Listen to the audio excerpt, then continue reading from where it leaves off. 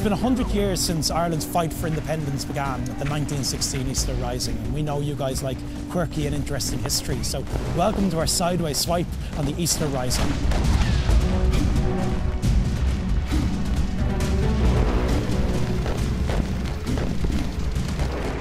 Try and picture this. 100 years ago, war is raging and bullets are flying through the streets of Dublin.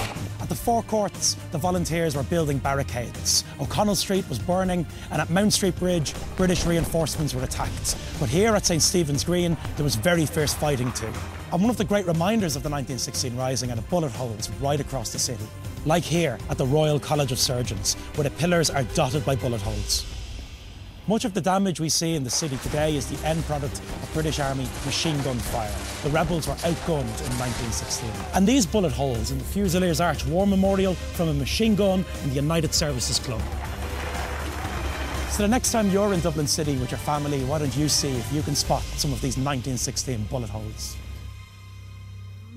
And don't forget to check out our next sideways swipe at the 1916 Easter Rising, where we're going to be talking about the famous gunboat, the Helga.